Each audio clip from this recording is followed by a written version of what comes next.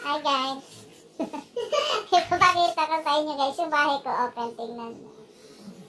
Taran! Yan ang opes-opes ng aking jowa. Open. Ako, ang pangit ng bahay ko. Grabe. Pangit, pangit, pangit, pangit ng bahay. Hindi naman kita kinuhan. May nagagalit doon. Kinukuhanan ko.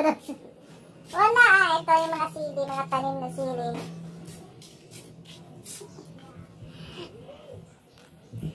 Shout out. Ang aking bahay na magulo. Ayan. Welcome to Pamilya Maligali. Ayan yung mga scraps. Binibenta namin yan para may pambili kaming ulam. Di ba? Ayan yung mga plastic-plastic. Binibenta yan para meron kaming pambiling ulam. Ayan. Kasi wala kaming ulam today. Ibibenta lang. Tapos yung bote. Ayan. Bote. Yung mga scrap guys. Mga plastic-plastic. Ibebenta namin yan para meron kaming ulam. O, alam niyo yun guys? O, ulam. Yan. Tapos nagtatanim ng petsay para meron kaming ulam. O, diba?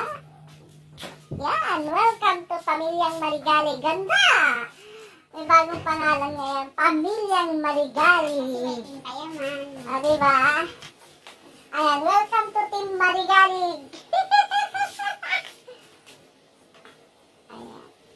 May team payaman, kami may team paligalig. Paligalig. Ayan, welcome to Team Maligalig.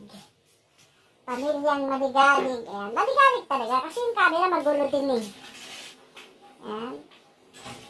Dito ako nagtutupi. Chay, ako nagtutupi. Ayan.